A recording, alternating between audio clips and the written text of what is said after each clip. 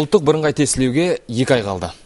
Биылғы мектеп бітіретін жас түлектер таулары шағылмас үшін жұмыс іздеп сабылмас үшін қоғамға керек мамандықты таңдауға тиіс. Әйтпесе дипломдарын құшақтап жұмыссыз жүрген жас маман қаншама. Демек жар таңдауда жаңылыспа деген қазақ мамандықты да қателеспей таңда дегеннен таңған емес дұрыс қазіргі жастардың көбі беделі зор табысы мол мамандық алғысы келеді.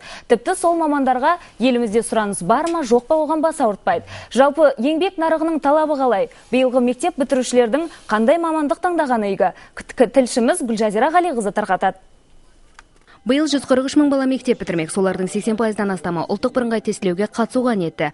Бірақ нақты мамандық таңдауға келгенде бір тоқтамға келе алмай жүргендер көп. Қазіргі таңда қандай мамандыққа баратынымды әлі тура айта алмаймын. Серікқалиевтің қос бірдей дипломы бар. Есепші әрі экономист бола тұра қара жұмыспен күнелтіп жүр. Құр ақшамен оқып жатырмын да құр қазір төрт жыл төрт жыл бітіргеннен кейін құр диплом аламын болды.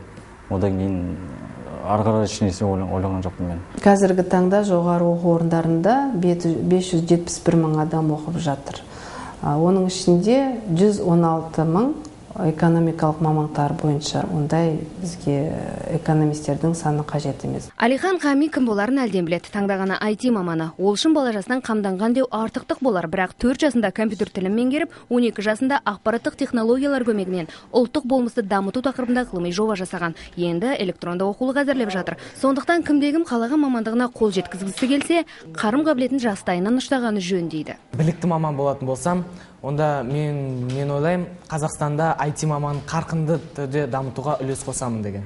Елімізде 136 жоғары оқу орны бар. Бұл білім ұялары 171 мамандық бойынша оқытады. Білім және ғылым министрлігінің мәліметінше биыл техникалық мамандықтарға 12432 грант бөлінеді. Бұл мемлекеттік тапсырыстың 30 пайызы. Ал педагогикалық мамандықтарға 6754 медицинаға 5000 ауыл шаруашылығы мамандықтарына 2650 грант қарастырылған.